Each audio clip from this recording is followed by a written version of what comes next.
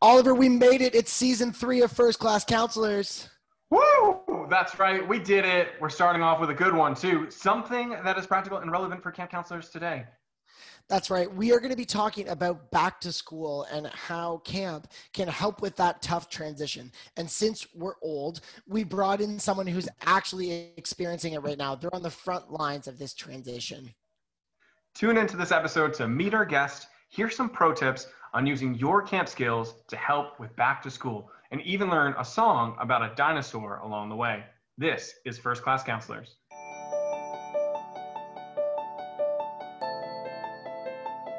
Hello, Camp Pros. This is Oliver Gregan. My pronouns are he, him, and I'm a summer camp professional.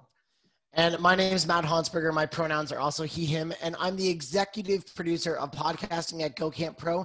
And welcome to season three of First Class Counselors. This series is for camp directors to give to their counselors as they hire and prepare them for the upcoming summer.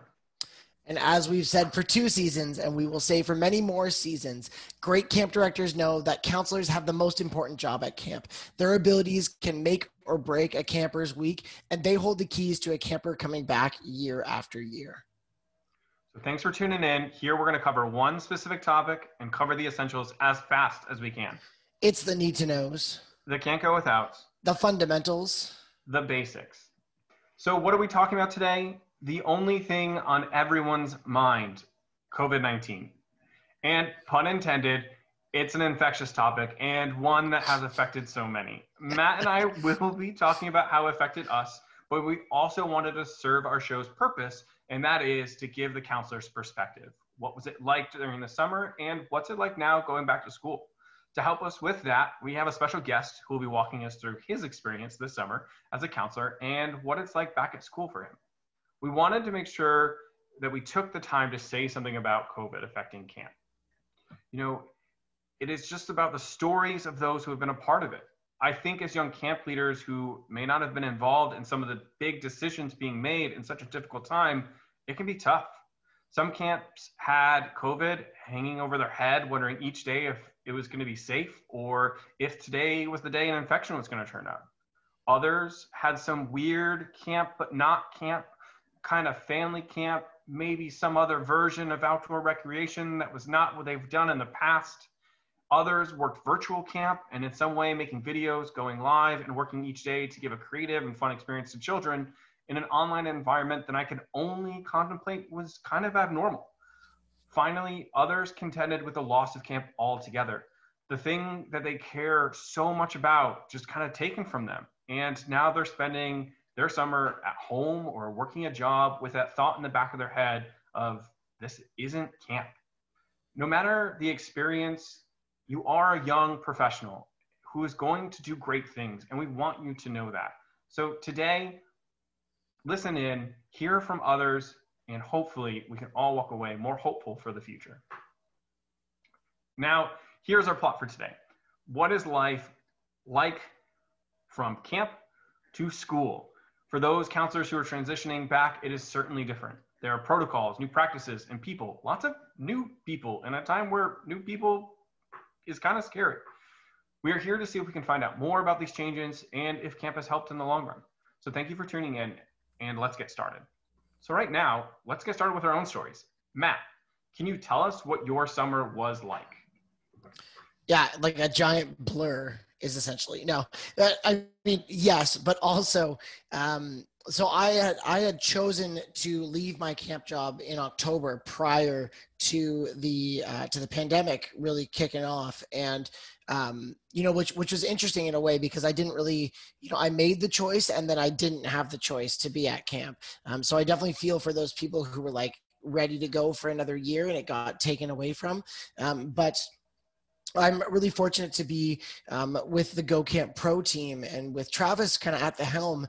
When I remember sitting in a hotel room when I was at ACA Tri State, um, and I remember seeing um, the news alert that the NBA had canceled their season and then Travis sent me an email. He's like, "We got to get started," and that's how the COVID nineteen Slack group started, and how the camp industry um, started collaborating to get through this summer. Um, and whether camps ran or didn't run or did virtual, um, we were uh, writing newsletters and we were um, sharing resources and helping camps pivot whether it was we ran some virtual teaching programs. And so i was i was definitely busy volunteering and working.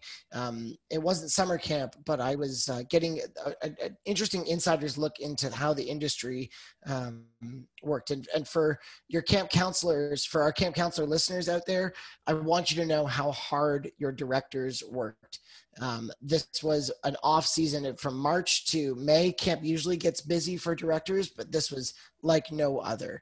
Um, so if you're uh, if you're listening, send your director a quick note, just thanking them for how hard they have likely worked um, for this year, because that's what I got to see this summer. Oliver, what about you? Yeah, I think you brought up Tri-State, and that, that was such a big turning point for so many camps, right? Because so many people were at ACA Tri-State when the NBA canceled, and that was kind of when everybody, it, you know, every camp professional I can think I was standing around was just like, whoa, things just changed. And yeah. that turning point, you know, you're surrounded by a 2,000 other camp professionals who are all like, what does this mean for camp right now? And even at the conference, they had started talking about it. Uh, my my experience was for really easy, difficult. Uh, you know, I am definitely someone who identifies camp as a fundamental part of who I am as a person. And to keep my story, you know, right off of the, to cut it kind of right the head is I have been laid off because there was no summer camp. So I am no longer a summer camp director as far as the employment goes. I am still 100% mentally in my head thinking about summer camp every single day and how to run it in 2021. That hasn't gone away. I think it's just kind of part of you at a certain point. Yeah. Uh, but that process was immensely difficult because from that turning point, you know, in early March leading up, there were so many questions. You know, how are we going to run summer camp? You know, what is it going to look like this year? What do we need? You know, we are talking about personal protection equipment, but also how to run programming. There's so many different alternative plans that you're putting forward in your brain and thinking about. It just doesn't stop. So not only are you planning camp to run camp, you're also just planning to what does camp look like with COVID? It's a completely different story. And the stress was absolutely immense. And just trying to connect with other camp professionals, there were some things that we had done that we had never done before. You know, I was really happy that I was part of uh, Connecticut camp directors calls, right? Where other camps in Connecticut with the YMCA were all connecting with each other and saying, hey, what are you doing at this point? And, you know, that started with Connecticut, but we added people from Massachusetts. We added people from, I think, New York and New Jersey at certain points. And it was just so amazing to see our, you know, family of camp professionals coming together. And we had to weigh so many things, you know, before we ended up canceling camp for summer 2021, uh, summer 2020. You know, we thought about doing family camps. We thought about doing outdoor recreation. We thought about doing virtual camp. We thought about all these things. And at the end of the day, you know, it just wasn't something that my camp could do. And mm-hmm. when that decision was made, the next, you kind of have to look at two routes. One is you kind of stagger your way, or two is you make the necessary cuts in your budget so you can be ready for summer 2021. And unfortunately, no summer camp it means no summer camp director. So I am currently not employed. I'm looking for a camp that would get to be my home for wherever I work next. But I'm happy that I got to work so hard in trying to find a way to make camp possible. For me, that was one of the most important things I can do. And I can accept that failure knowing that everything that could be done, I felt like I did. And that what's, that's kind of what makes me happy. For other camp pros, I can connect with you on the fact that there's so much that you may have felt like you've lost. Uh, and in reality, that felt is an actuality. You may have actually lost stuff now. Mm-hmm. Uh, and if you if, if there's any camp professional out there who listens to our podcast who needs someone to talk to about that loss and that feeling, contact me. We put it in every single show notes on how to get a hold of us. If you have questions, if you just want to vent about something, please reach out. I know how important it is to have another camp professional to talk to. Sometimes somebody who's not affiliated with your organization and I also just love connecting with people and talking camp. So please reach out. I'm here. I want to listen. I want to learn. I want to be a part of your experience in any way that I can help. So thank you so much. Um, but Matt, let's get right to our episode. Let's talk about the things that we can talk about and the things that we can do now. Yeah, I, I want to just before we do that, Oliver, I want to hold some space and just say thanks for sharing. And I'm I'm so sorry, man. Um, we've become friends over two full seasons of, of the podcast, and I know um, deep down, you know, I find you a good friend because we both love camp so much, um, and I know that it means a lot to you. So I'm really sorry, but I'm I'm really grateful that you are taking this in stride and the um, you have said, okay, I can't do anything about this, but I'm going to move forward and I want to be the best that I can. And if there's a, any executive directors out there listening that are looking for a camp director, I can't think of a better person um, than my friend Oliver. So uh, this this episode, Oliver, let's treat it as just a working job interview for you or maybe in a future episode it'll be like get to know Oliver. we'll go through your resume. yeah, we'll just do an Oliver resume episode. But I mean, honestly, like right now, having this podcast and having ways to connect back to camp and still serve the camp community is huge for me, and I just really enjoy being a part of it. And uh, here we go, season three. Yeah, man. Yeah. So, on that note of moving forward, um, a lot of counselors right now are in the midst of back to school. We're recording this in late September and of uh, 2020, and it's back to school time. And we thought this was an appropriate time not only to cover um, what back to school looks like every year and how hard that can be, but also we can't address we can't not address the elephant in the room that is back to school in COVID times. And um, to do that, Oliver and I aren't necessarily the best people because we we're, we're camp people. We're not in school anymore, and um, so we brought in someone who is in school. So uh, in a second, we're going to pivot over and welcome Thomas Dewar, or his camp name is Evro. Evro was actually a camper when I was a staff member at Cairn, um, and I'm really happy that he agreed to join us to share his perspective. Um, and he's got some awesome stories, so I'm excited to welcome him to the podcast. Anything before we jump in, Oliver? No, let's zip right to it. Boom. All right. Oliver, we are here to interview our good friend Thomas Dewar. His camp name is Evro, uh, and him and I work together. So you might hear some Evro instead of Thomas, and you might hear some Iskis instead of Matt, and you might hear some Oliver. Well, you'll hear Oliver. We're working on the camp name for Oliver. Uh, so Evro, thanks for being here, man. Good to see you. Good to see you too. So Evro is our uh, our expert today on what it's like to go back to school after camp, and not just back to school, but back to school in a global pandemic. So uh, Evro, thanks for holding tough, and we're excited to hear your expert opinion or your your experiences on this. Yeah, I'm excited to share my experiences as well.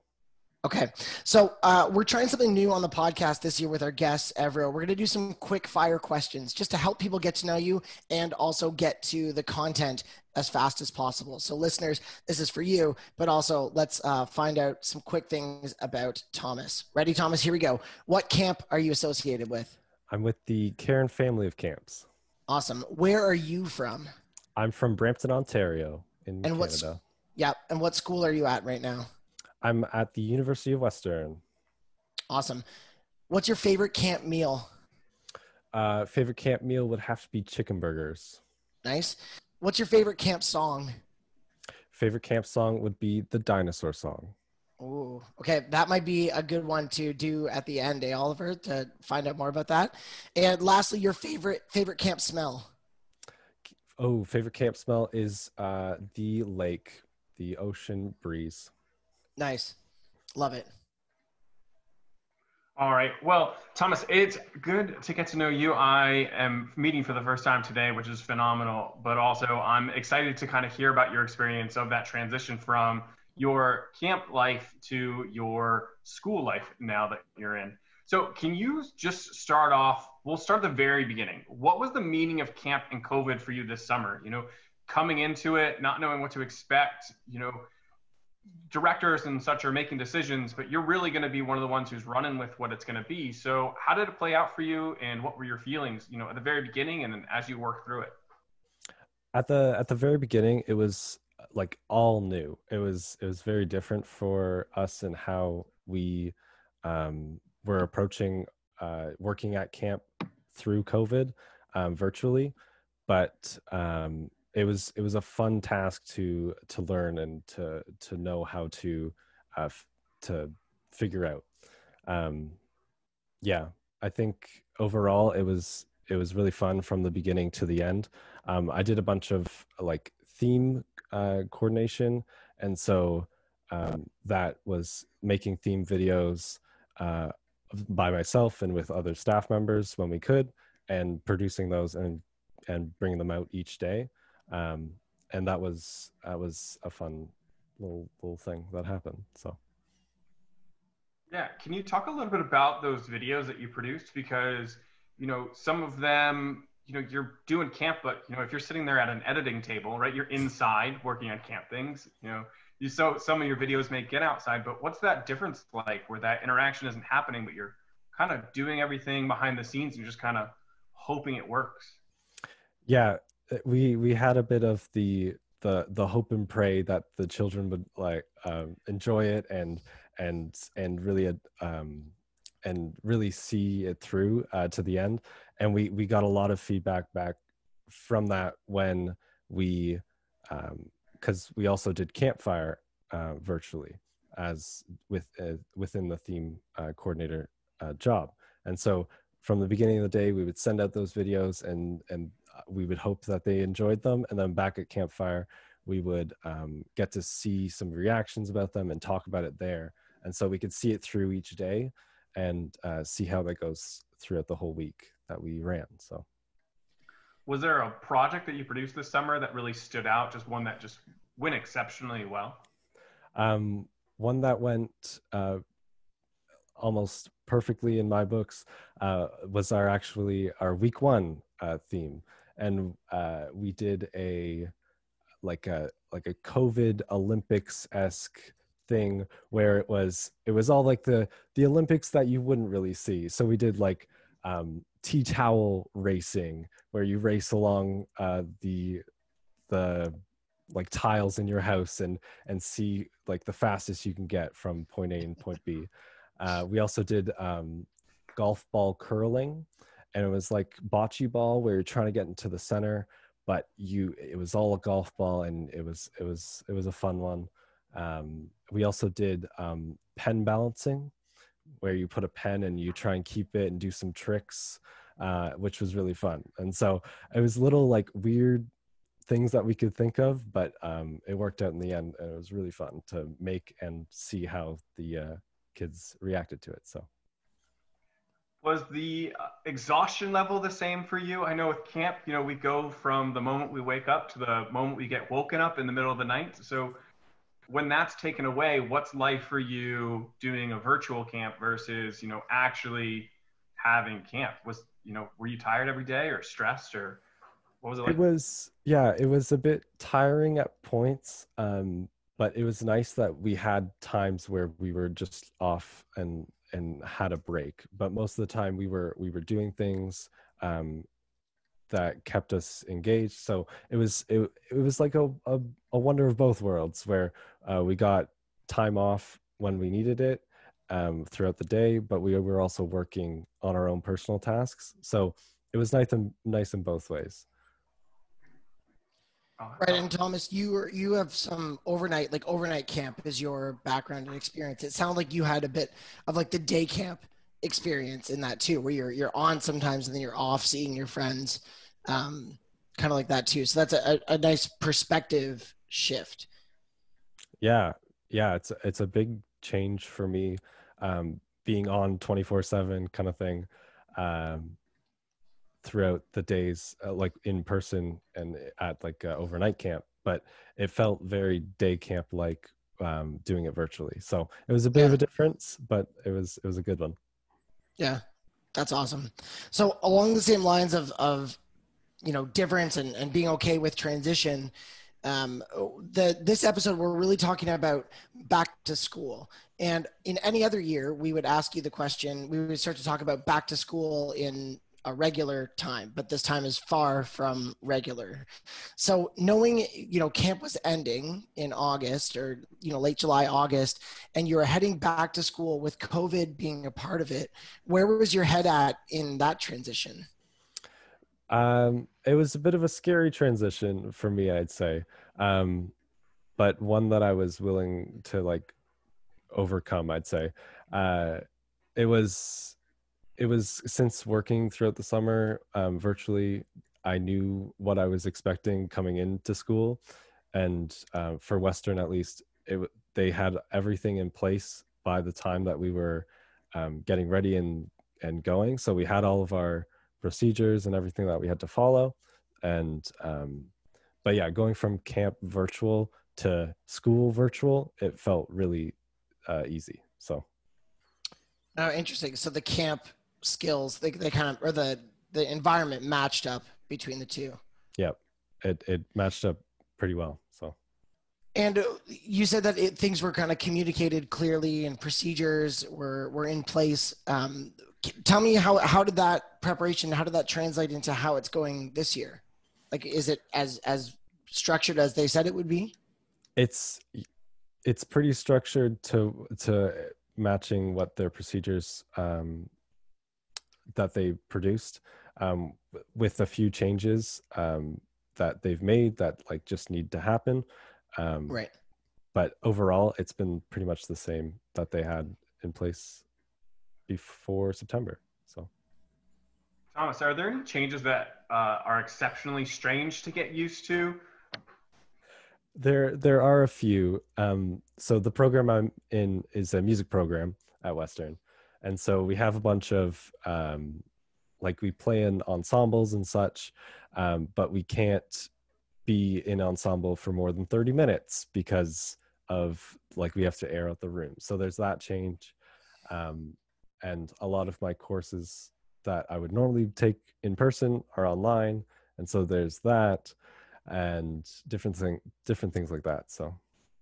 I can only imagine. I was a, a music student as well, and like uh, just talking to you before this, and, and at other times, it's just like everything has to be rethought and how you're doing it, and I think that takes a lot of like resilience coming from you, which which seems like we've talked about resilience here on the podcast about a skill of you know all star or as we call them first class counselors so how has how has camp helped you in the transition of going back to school in times like this i think um, camp really shows you how to it knows how to like connect people without needing the connection piece if that makes sense i'll explain in my weird way. Um, yeah, yeah. So I think camp is a really great way to connect people in the first place because you have that common interest of just being at camp, and then when you go to school, um, you can create those connections by finding that one percent uh, and then growing on that. But through COVID, it's been harder to do that in person, and so I think through our virtual classes and all of that, we found it really easy to like like in um, our virtual software we can like chat in the chat box and and talk to people there which um, we've done in like my music history course. And we talk then like you would do in class and like have discussions and such. And so i think it's been a, an easy way to like learn from camp that you know connection is possible and finding that 1% and still being able to do that at school so. I like that. And so you talked a bit about you know in the in covid times you've had to adapt in that way. What about like in a regular year? But i remember back to school always being like a bit of a bummer because you're riding that high from summer camp and then you're going back to school which which you might have good connections at home and stuff. What in any other year or even in this year what are some other skills that like camp has given you to manage that transition or to succeed when you're back in the the quote unquote real world? Yeah i think um for me at least, I learn a lot of people skills when I'm at camp and how to like interact with people. Um, and like, I think making those like again, making connections is is one thing that camp teaches you a lot about. And so, uh, bringing that to school when you're in whatever, um, even in person, is is hard sometimes when you're going mm-hmm. from say going from high school into university it's it's hard to make that transition and i i did that last year and so um yeah making connections was a big thing that i learned from last year working at camp um, and going forward so Thomas, what has the conversation with your friends been who may not have had camp before in their lives? Uh, you know, that co- kind of, what's the vibe on the college campus of, you know, what other students are saying about, you know, life at school with COVID? Yeah, a lot of people um, that I know are are worried about it um, and a little nervous about COVID in general and how the schools um, taking it. And um, I think like Western is doing great uh, so far, um, but I think to to like keep them keep that conversation going um, because it's a conversation that needs to happen about COVID in general. Um, but yeah, most people that I've talked to that don't have a camp background um, are adapting to it uh, well, but a little slower. I think as camp people, we adapt really well, um, and that we are able to make these changes um, that we we see every day, even at like camp. So for yourself moving forward, are you thinking of your, your future and kind of a day by day? You know, is tomorrow the day that there's a positive test on campus and we got to kind of deal with this? Or is it week to week? Or you kind of, you know, this is my semester. I know what's going to happen here. You know, what I, you know, a lot of people this past summer, security of time was a huge thing of like, how long can I think ahead for? What, where's your brain at right now? So I, I think for me, I'm at like a, a in between a day by day and a week by week kind of thing. Um, it's it's been a bit weird to like I have to think day by day to like see for school wise what's due or like week by week what's due like the next week and that I have to start working on.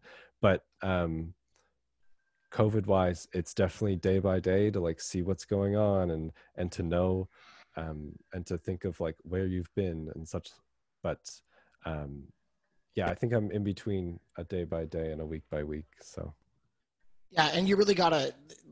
I think what you're saying is like taking it as it comes and being ready, ready to process new information because everything's changing so fast, which is like definitely camp, right? Mm-hmm. Everything changes. You've got this like amazing thing planned out, and then the rain comes, and you've you're still responsible for those kids, and you still got to make it magical. So um, that like resilience, adaptability, um, all those things, I think it sounds like that's what's really helping you get through this tough time. Oh yeah. Oh yeah. Being able to like already like change things on a dime from camp and like knowing that aspect and then coming to school and like finding out different things like oh we're changing that now i'm like okay sick we'll we'll keep going forward then it, we'll just it's fine so yeah yeah yeah, that's awesome. So uh, we're gonna wrap it up here, uh, Thomas. But what to finish off? If there was a person um, in your situation right now, they're back at school, whether it's uh, university, college, or high school, and you know they're struggling, but they're a camp person. They know they speak our language. They they understand what that looks like.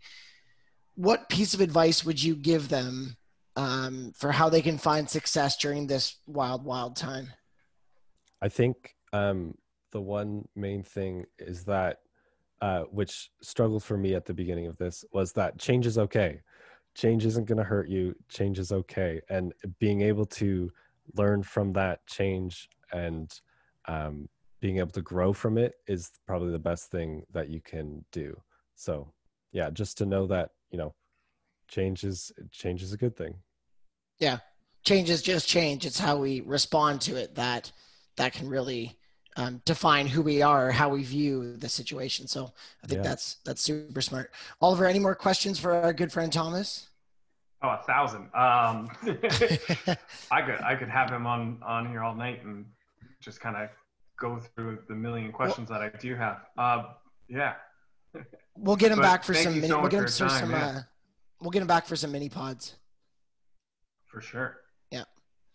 Well, Thomas, thanks a lot, man. Uh, we before we let you go, we do this segment at the end of our podcast called Eggle, which is ever growing, ever learning.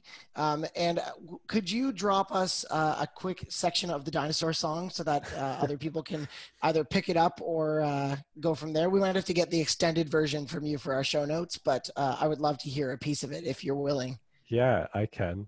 Um, so it's a repeat after me song, uh, which is Okay, we great. got you. Um, and yeah, I'll just do one of the verses, I guess. Okay, Oliver, I'm gonna make Oliver do the repeat because you can't repeat two people. Oliver, you're in. Do it. My name is Brontosaurus. My name is Brontosaurus. I'm the long neck dinosaur. I'm the long neck dinosaur. And on my neck, I have a head. And on my neck I have a head. And my tail goes to the floor. And my tail goes to the floor. When the other dinosaurs want to fight, When the other dinosaurs want to fight, I swing my head with all my might. I swing my head with all my might. So there's there's just one verse of it, but I'll send you the rest. And is it like all the dinosaurs are battling? Is that the essential? Yeah, purpose? I'd say I'd say it's a big um, brawl between the dinosaurs, and it has a nice little ending. So uh, Oh, nice. Okay. Well, uh, stay tuned to our show notes. Uh, eventually, we'll get that one from uh, from Thomas. So, thanks so much, Thomas. That's great, man. It was great to see you, um, and I look forward to hearing some more uh, stories about how you're doing and some lessons you've learned from camp. yeah, I can't wait to uh, see you all again soon. All right. Thanks so much for your time tonight, Thomas. Thank you as well. Cool. See you later, buddy. See ya.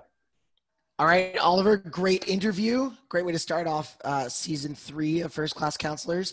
Um, what what did Thomas say that resonated with you during that chat? Uh, I really liked talking to him about the programming aspect of it all. You know, the fact that they were doing virtual, you know, obviously he's gone through the whole season of it. He's he's done it and he's a lot calmer now about it.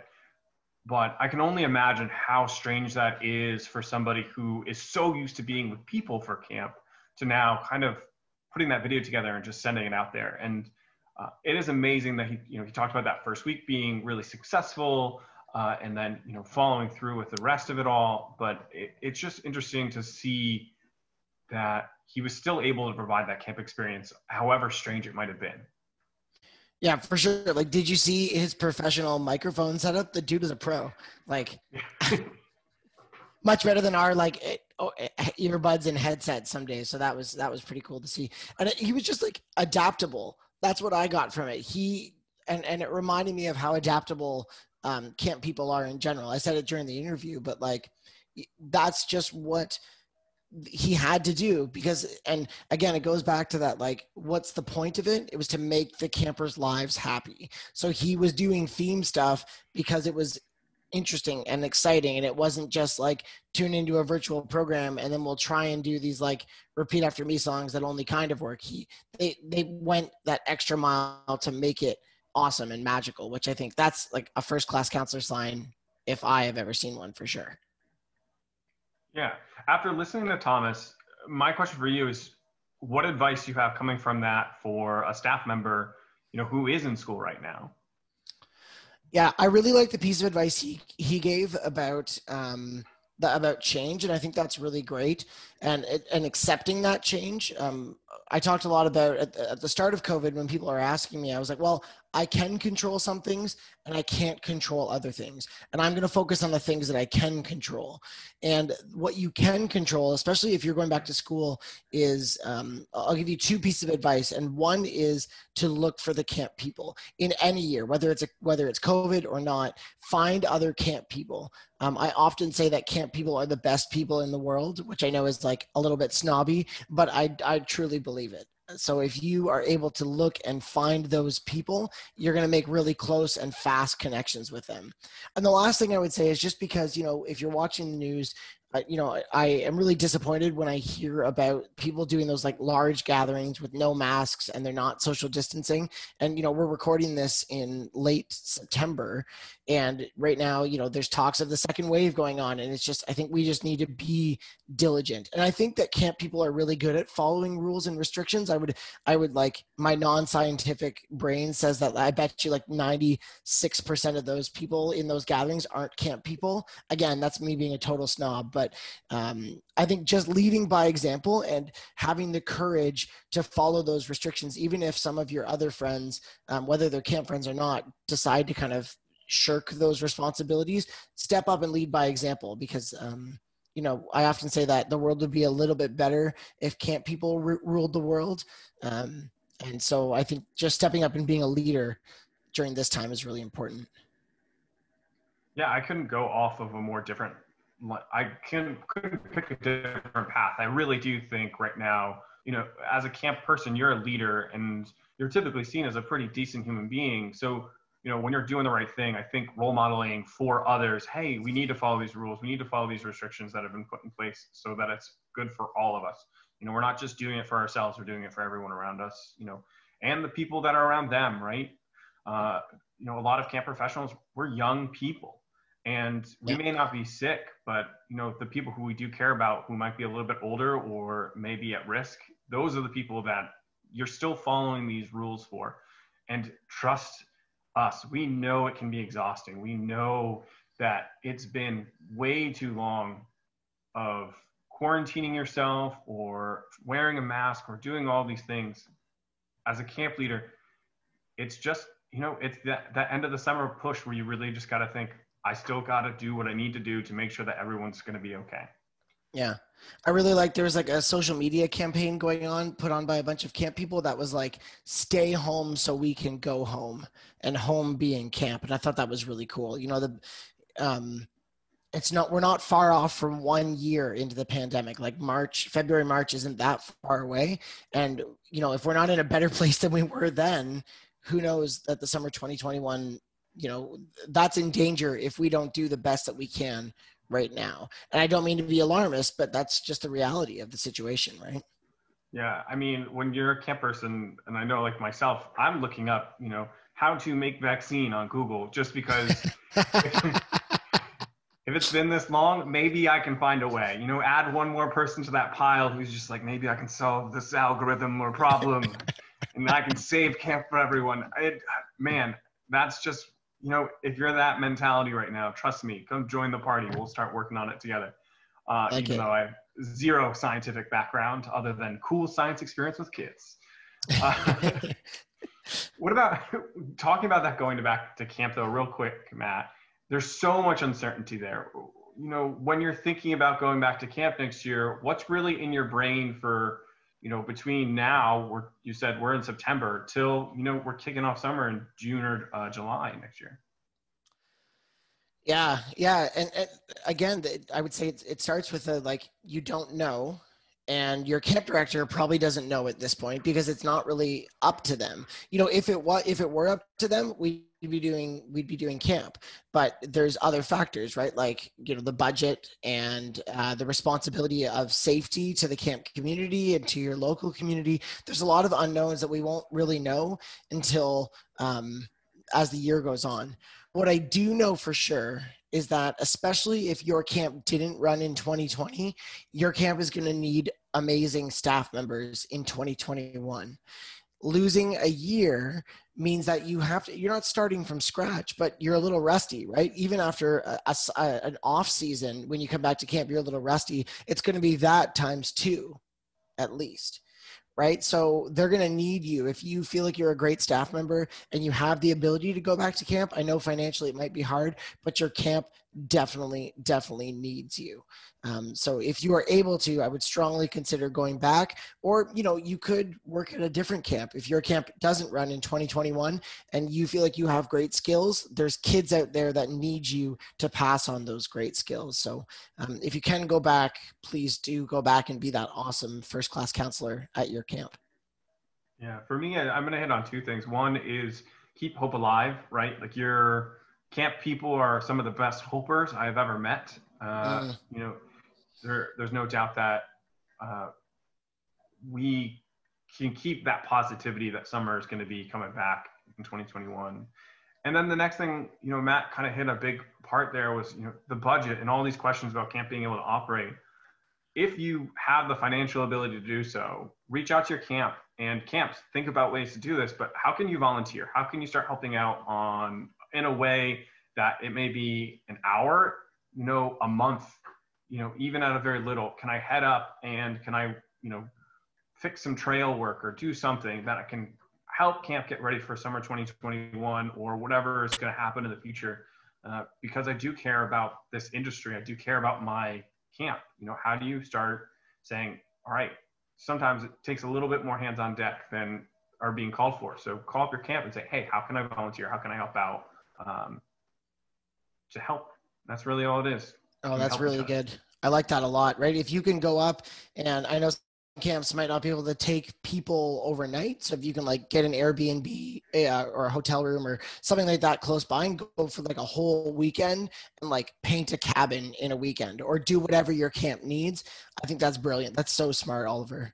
Oh man, and get a bunch of friends together. Like you're even sparking me. Get that Airbnb, Airbnb with a bunch of camp friends, and you know spend you know half the day or a day working at camp, and then you know the rest of the day hanging out with your friends and just getting to see some of your camp friends you haven't seen in the past, as long as you're social distancing and doing things you need to do, or maybe doing yeah. with some of your college friends who you're, you know, you've been in kind of quarantine with, who would be willing to come and help something that matters to you, and you maybe can go and help something that matters to them too. Kind of do that trade. Yeah, brilliant, brilliant. Uh, Matt, do you want to hit our Eggles right now? Oh yeah, yeah, it's Eggle time, buddy. So uh, we are bringing in this new concept as this is the first episode of season three. We are um, we hope that you have gotten ready by now with all the get readies from last the last two seasons. We're to try something new. We want to give you the skills uh, that you can apply when you get to camp right away. So it's to be a game, a tip, a song, uh, something that you can do to build your arsenal of awesome tricks. Uh, so every episode, Oliver and I are going to give you a short little bit of something that you'll be able to take and apply the next summer you're working at camp. Um, and Oliver, uh, why don't you start us off? Yeah, I am going with a very simple one. You know, when you go to camp, you get camp mail sometimes. You send camp mail. And it's really easy for my advice to just be something as simple as send a friend a letter and make it campy. I, you know, I think that's really important. But uh, I also took some time to be practical and I added into our show notes, which you can go and check out later, that may give some opening lines or some funny lines you can put in that letter that you sent to your friend right off the bat.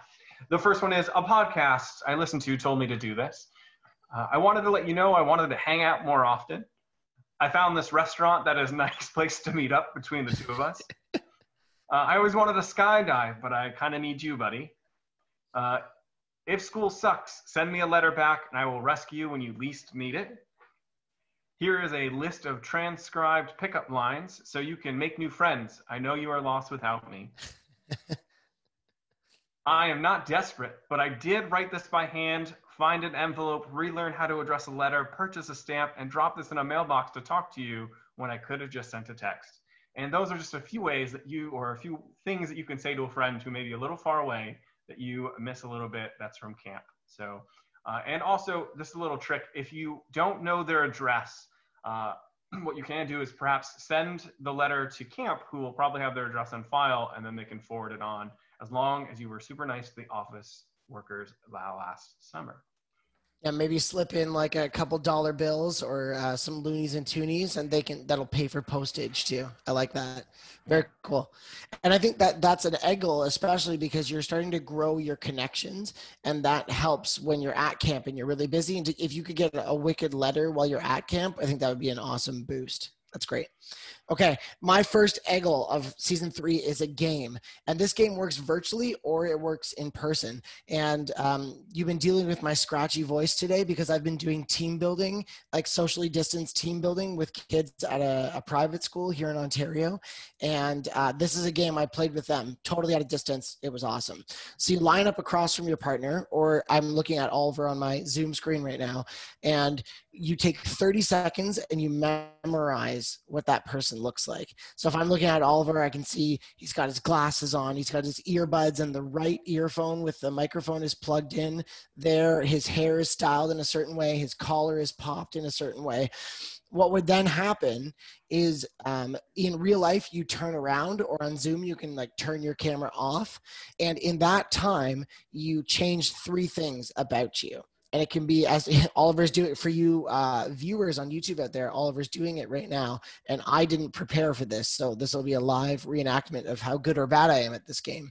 But Oliver's changing three things right now, and then when he turns back around, then I will have to figure out what he's changed. and he made it easy on me, and he flipped his glasses upside down. Did you do more than that? Oh yeah, you put your collar down as well and I think you changed the position of your laptop, or is there like a sign in the background or something? Uh oh. Oh, you flipped your hair direction. Yeah. Oh yeah. Yeah, not too shabby. So that is Change Three Things. That's a, um, I believe it, Jim Kane was the original uh, creator of Change Three Things. Um, so thanks, Jim, for that. And that is my eggle for you to wrap up this episode of First Class Counselors. All right. And thanks so much for listening, friends. Uh, we love doing these episodes. So please, if you enjoyed today's episode, we would be so grateful if you left us a review wherever you are listening to this podcast. Your ratings and reviews not only tell us what you like and don't like about the show, but it helps boost our rankings and helps more people discover the show. Also, don't forget that you can find all of our show notes at camphacker.tv slash FCC or gocamp.pro slash FCC. And you can find out how to get in touch with Oliver and I if you have any follow up questions. Um, and you can also check out Thomas's uh, dinosaur song that he's going to send to us, uh, and we'll post it up there for you as well. Thanks for listening, friends. And remember, camp is camp, and camp's all good.